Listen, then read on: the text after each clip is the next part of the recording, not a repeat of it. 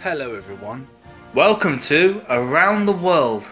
In today's video, we are going to study and take a look at the United States of America. Let's go! The United States of America, or the USA. The great majority of Americans are peoples whose ancestors came from Europe, from Great Britain, Ireland, Germany, Italy, Poland and Scandinavia. Many of the people have ancestors from Europe, Africa and Asia. The African Americans are most numerous in the South, in such states as the Mississippi and Alabama.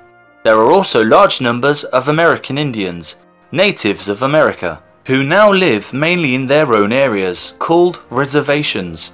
The Native Americans, such as the Navajo, have communities in the southwest of America. Along the Pacific coast live about a quarter of a million Japanese and Chinese, chiefly in California. They or their ancestors came from distant countries to work and settle in the United States. Out of this mixture of peoples of different race and colour, the Americans have made themselves into the busiest, richest nation in the world.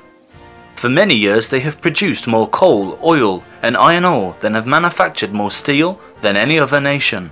They own more ships, they make and own more aircraft and railway locomotives than any other people of any other country. They make and own well over of the half of the world's motor vehicles. In New York City, the Americans have built the most wonderful city of modern times. The passengers on the transatlantic liners have a superb view of the skyscrapers as they approach the harbour. Towering above all is the Empire State Building, which rises to 1,250 feet above street level. One of the greatest thrills for visitors to New York is to ascend its tower and look over the great city beneath. Every weekday, hundreds of thousands of Americans throng into New York to work there. In their leisure time, they like to watch the baseball game or visit the many cinemas and theatres. During the summer, millions of Americans enjoy the sea, the beach and the amusements of Coney Island.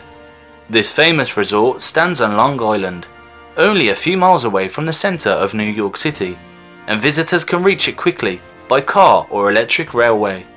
They also like to visit the shore in Jersey Shore in New Jersey, the Garden State. The United States has many large cities in the northeast, the chief industrial area of the country.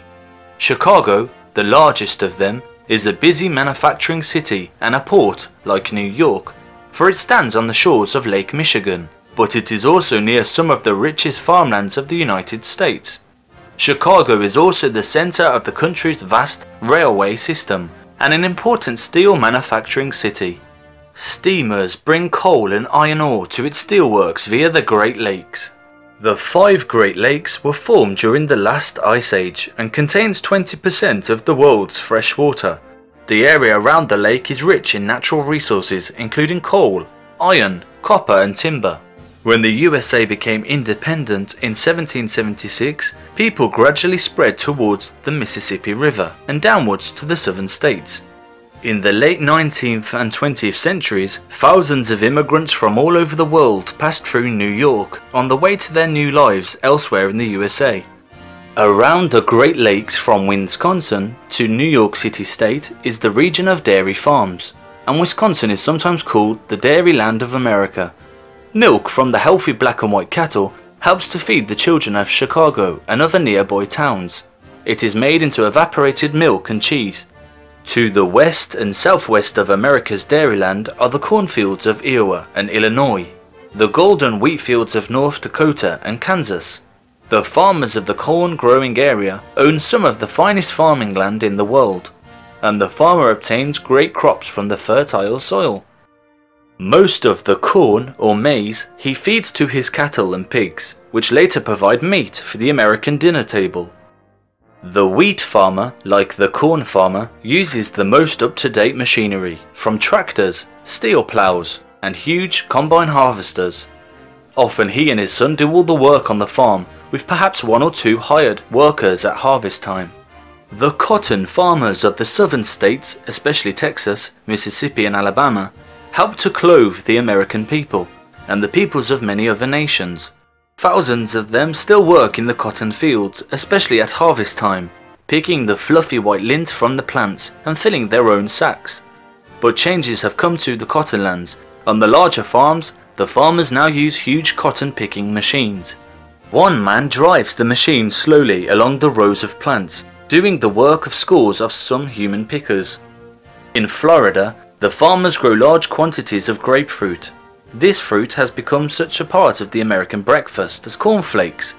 In Florida, summers are hot and winters are mild, and their seaside resort of Miami has some of the world famous beaches and luxurious hotels and all kinds of amusements. Florida is also the home of Disneyland, for hundreds of miles and the lower Mississippi winds to and fro over a plain carrying and dropping enormous quantities of sediment. It has built up its bed so much the water level is often above surrounding land. American engineers have therefore had to build embankments or levees to prevent the river from flooding towns and villages. Near the delta of the Mississippi is the city of New Orleans.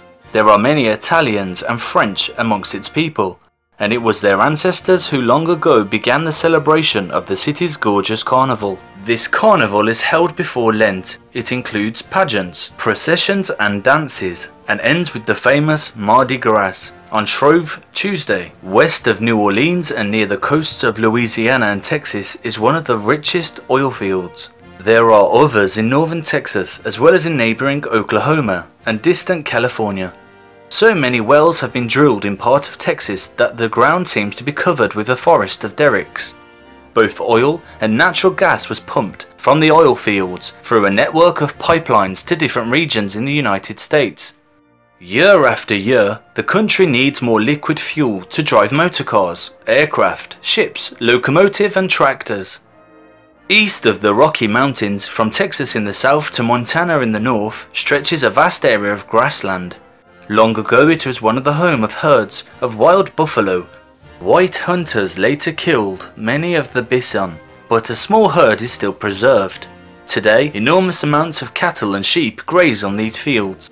There are dude ranches where summer holidaymakers may dress up like cowgirls and cowboys and ride the range. On the real ranches, the cowboys no longer have to fight red Indians and cattle thieves, but they still show visitors what fine horsemen they are.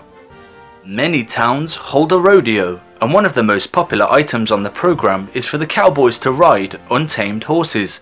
Another favourite trick is to throw a steer, where the steer is let loose into the corral. The cowboy gallops after it on horseback, then he leaps from his horse, grabs its horns and throws it to the ground, all in a few seconds.